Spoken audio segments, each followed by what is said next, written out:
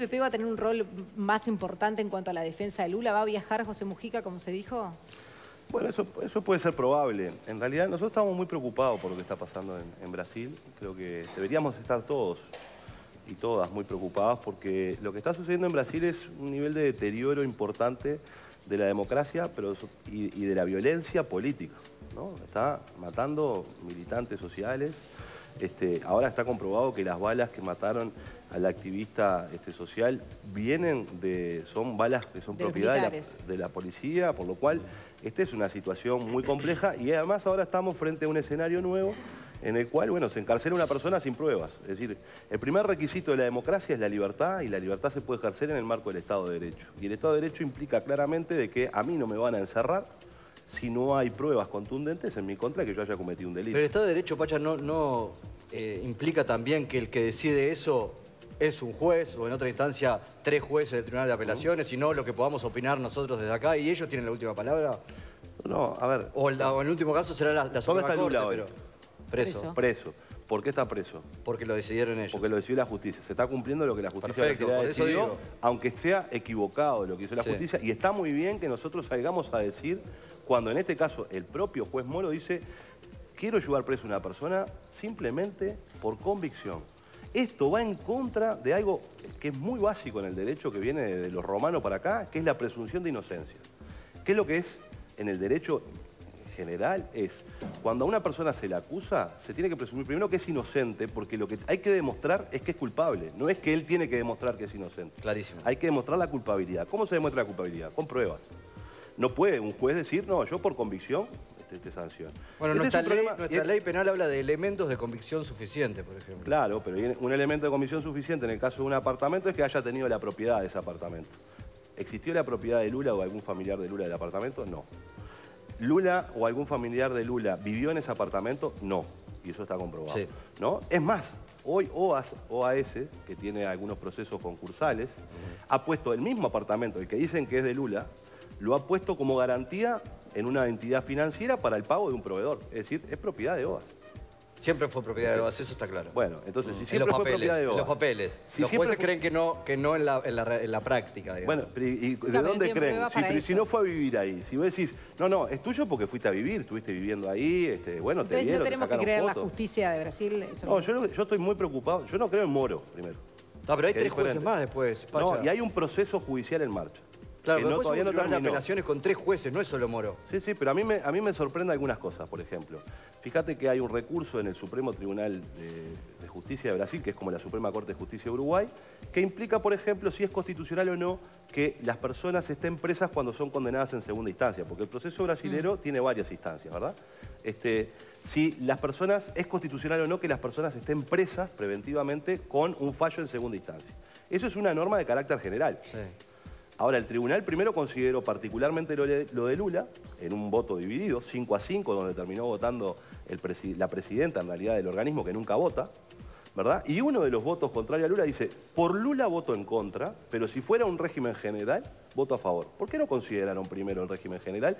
Que ahora se está especulando de que podría ser tratado, pero ahí hay otro elemento todavía que es un juez puede decir, no, tengo ganas de estudiarlo y esto puede quedar este, indefinido para tratarse. Entonces, a los hechos me remito. Tenemos a una persona que es quien lidera las encuestas, previo a un proceso electoral, donde estas decisiones implican sacarlo de la competencia. Francamente, sacarlo de la competencia. Diputado, Entonces, me parece que ahí hay un problema serio que tenemos que analizar, porque bueno, si mañana cualquiera por convicción dice, no, yo quiero juzgar a Alejandro, que vaya preso y ya está, y me llevan preso y después yo tengo que comprobar si yo en realidad soy culpable o no, este, cuando en realidad el proceso debería ser al revés, y me quitan mi libertad me quitan mi libertad porque alguien dice, ah, no, a mí me parece que aunque no haya prueba, este, vos sos tal cosa. No. Diputado, ¿qué lectura hace del retiro el otro día de Asamblea Uruguay para no votar la, moción de apoyo a Lula? Bueno, libremente Asamblea Uruguay, por supuesto, se, retiró. Este, eso está muy bien, yo no voy a juzgar la actitud de ellos. Yo creo que acá hay que diferenciar dos cosas, este, que a veces se confunden. Una cosa es el gobierno y otra cosa es la fuerza política de gobierno. Porque el gobierno ha dicho claramente, el gobierno no se va a pronunciar sobre una decisión de la justicia de Brasil. o sea, el canciller y el presidente, pero fue muy criticada la vicepresidenta porque sí eh, hablo del tema. Sí, pero está bien, la vicepresidenta puede hablar del tema. Yo creo que políticamente uno tiene que opinar en este caso, ¿sabe por qué? Porque estas cosas empiezan a suceder. Después resulta que acá tenemos actores locales que suben una foto diciendo así vive la oligarquía de izquierda, el hijo de Lula, este, que lo hace Mercedes Vigil. Pone Mercedes Vigil. Está bien, pero Mercedes Vigil no representa a nadie, es algo ella misma. pero, a mí me preocupa el escenario que se va construyendo. Luciano Polanski representa a todos los uruguayos. que vive en la universidad. Parece ser que la universidad, el campo de la universidad. Que en realidad era una universidad. No, está bien, pero hay, hay, está bien, Pacha, pero hay, hay además de empresarios, además de Cuña. Hay 15 dirigentes del PT procesados, eh, condenados en Brasil. Eh, estuvo complicada la corrupción. no podemos perder de vista eso, más allá de lo de Lula, ¿no? A ver, y Lula era el jefe. Yo puedo ser... No, no, para. El jefe de gobierno. No, no, sí, sí, pero eso es como ir a la película... Eso es como ir a la película del padrín. Guarda cuando decimos esas cosas, mí me parece importante. Primero, hubo gente del PT, hubo gente, hubo gente del PT que se corrompió y está claro que tiene que ir preso. Y todo el que recibió un peso de una empresa o tomó una decisión para beneficiar a privados, que vayan todos en cana. Que vayan todos en cana. Ahora, acá se destituyó a Dilma Rousseff sin tener un solo, un solo elemento, un solo juicio de corrupción contra la presidenta legítimamente electa. Porque Dilma Rousseff no tiene ninguna acusación de corrupción, al contrario. Se lleva preso a otra persona, en este caso que lidera las encuestas, ¿verdad? sin pruebas. Entonces, separémoslos tanto. La corrupción en Brasil, que abarca a todos los partidos y que incluyó al PT, y esa es la principal crítica que yo le puedo hacer al PT, que es un partido hermano del Frente Amplio, diciéndole, no hicieron la reforma política que tenían que hacer, no combatieron ni separaron el dinero Lula y Dilma de su propio partido, en definitiva, porque ellos eran presidente, después ella presidenta, Dilma antes presidenta de Petrobras. Eh, ¿No lo vieron? ¿Se les escaparon? ¿Se le corrompieron los compañeros? ¿Qué pasó? Sí, porque el sistema político brasileño... Mirá, yo te voy a decir cosas que eh, nosotros estamos haciendo y son muy buenas. El sistema político brasileño, por ejemplo, se votan los legisladores de manera nominal. Esto quiere decir que la gente vota por fulanito de tal, ¿no? Por Carsolio, por Sánchez, por fulanito. ¿Bien? Ese tipo hace campaña. Y para hacer campaña consigue plata en las empresas, ¿verdad? Porque está habilitado en Brasil. Nosotros acá ahora estamos legislando para decir que las empresas no financien los partidos. ¿no? Es decir, hay cosas que no se hicieron en Brasil, porque el proceso de, la corrupción del sistema político brasilero tiene larga data. Acá se va a empezar a hacer este, ¿eh? Que se, ¿eh? Digo que se no, va a pero eh, digamos, yo pongo la, en, Uruguay creo que tenemos un régimen bastante este, prolijo. Ahora estamos mm. avanzando en otras cosas. Mm. Este, lo que estoy diciendo con esto es que en Brasil existe corrupción sistémica dentro del sistema político, existe. Que el PT cayó en eso, también es verdad, y hay elementos del PT que están este, encarcelados hoy, y están muy bien encarcelados muchos de ellos.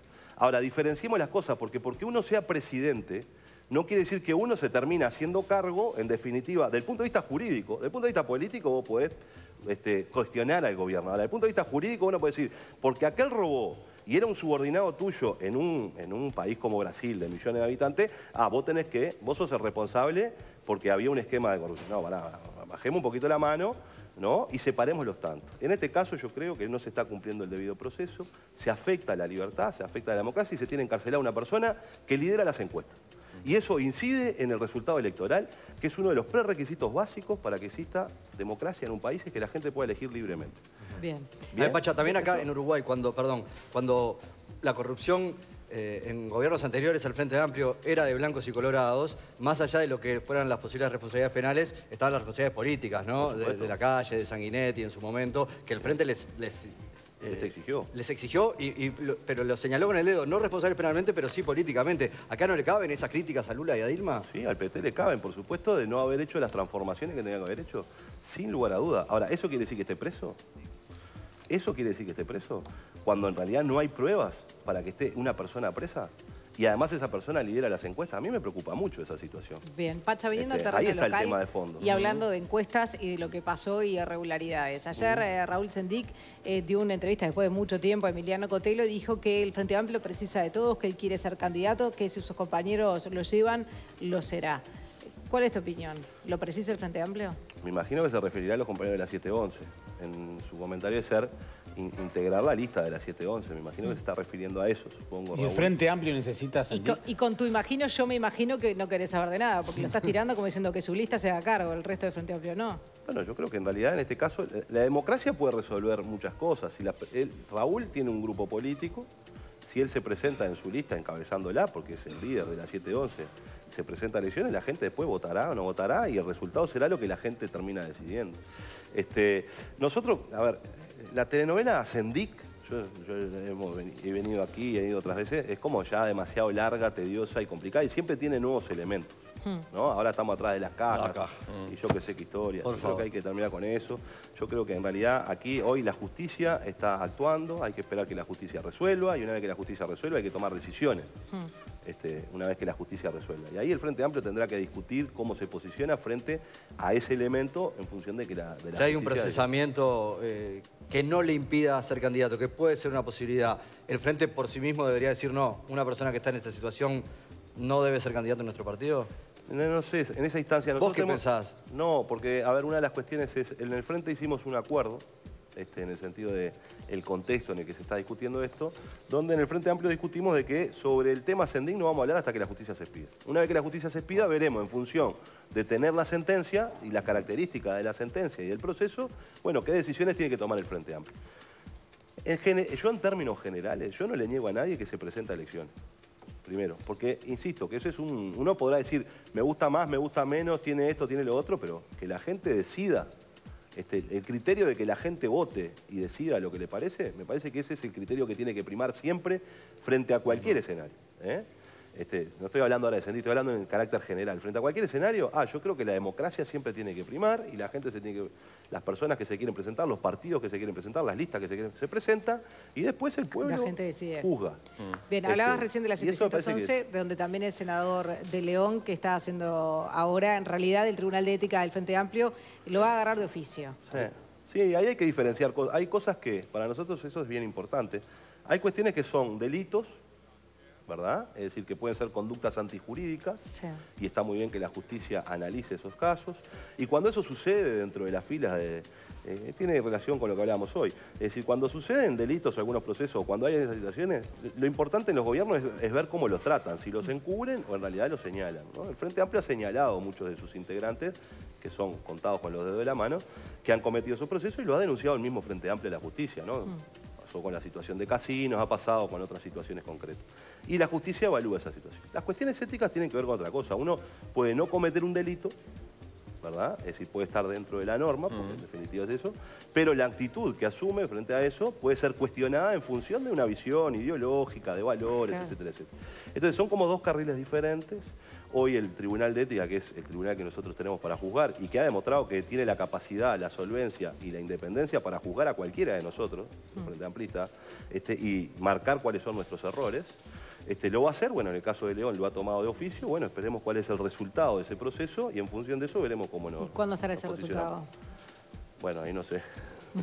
Este, supongo que trabajará en el, Ahí todo un proceso bastante largo. Claro, no, la JUTEP por eso lo dio a conocer la semana pasada y luego Frente Amplio dijo que iba a esperar, que estaba la justicia, habló a Astori, dijo que esto lo, habría que tenerlo en cuenta, que no se puede ignorar, y ayer se conoció entonces que va de oficio. Claro, pues acá hay, dos temas. Cuando hay un tema en la justicia, este, más allá de que hay una diferencia entre delitos y ética y actitud ética, yo creo que siempre es bueno esperar que termine el proceso judicial y que no haya ningún tipo de expresiones previas. No, no porque, a ver, yo confío en la justicia uruguaya, pero este, puede ser también tomado como una presión o no presión al, proceso judicial que está en marcha. ¿no? Hay un juez que está juzgando a una persona pública y que tiene repercusiones públicas su decisión. Entonces, siempre es bueno mantener una actitud de cierta este, calma y cautela, esperar que el proceso de la justicia concluya y sobre esa base, ya con base cierta, no con especulaciones, si la sentencia es esto, si habrá esto, si hay proceso, si no hay proceso, en función de eso después analizar el resto de las cuestiones. Bien. Alejandro Pacha Sánchez, muchas gracias. No, muchas gracias a gusto, Pacha. Te pasa muy bien. Preciso más bizcochos dulces, che. Cambia los platos. Gracias, Margarita, ahí, ahí pasa, pasa. El plato de la coloniesa y mientras Una para él, una para mí, dos, Jaime. Dejamos dos platos ahora, ¿eh? Juan Miguel, la llave de off hoy. Está tan fire. Vamos a ver el estado del tiempo a esta hora.